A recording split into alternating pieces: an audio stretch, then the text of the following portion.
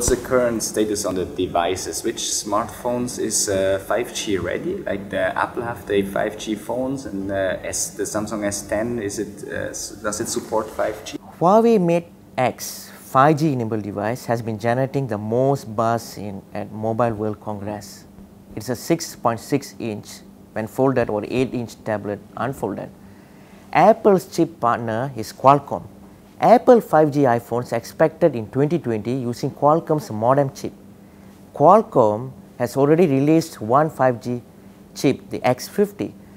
Samsung Galaxy S10e is 5G compatible. Samsung has launched 5G gaming app in partnership with cloud streaming game Hatch. The app comes with more than 100 games with no in-game purchases and no downloads required. This works on real-time cloud integration and that's only possible with 5G. The key takeaway for 5G phones is very simple. It's about instant view, streaming 4K movies with virtually no buff buffering.